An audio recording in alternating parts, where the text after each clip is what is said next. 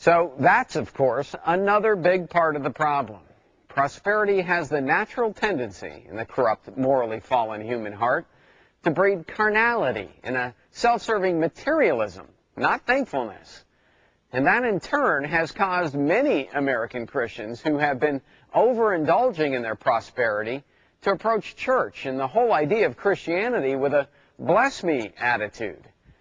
In other words, instead of becoming more grateful for and more generous with what God has already given us, it has tended to make American Christians like spoiled children who only want more for ourselves rather than share what we already have. So that's an undeniable part of the problem.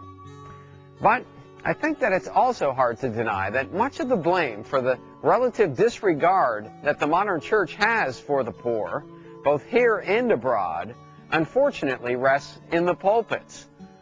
And don't get me wrong, we're all guilty to one degree or another on this issue.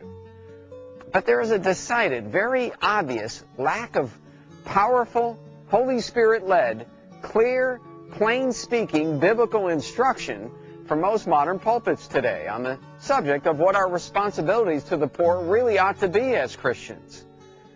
And I think that's fair to say, because even though false professing Christians and mere hypocrites can and very often will duck their responsibilities on this issue, even when they're taught properly, and even though the flesh of even every true Christian has a natural tendency to rise up and fight tooth and nail against the true biblical standard of financial stewardship. Yet, I think it's equally true that no sincere, born of the Spirit, genuine Christian can resist, for very long anyway, the clear, plain teaching of God's commands. Because as Ezekiel 36 puts it, when God actually redeems a person, they become a true believer, Inherent in that redemption is this promise from God.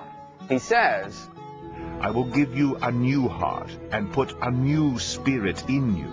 I will remove from you your heart of stone and give you a heart of flesh. And I will put my spirit in you and move you to follow my decrees and be careful to keep my laws. That's the genuine reality of all true Christians.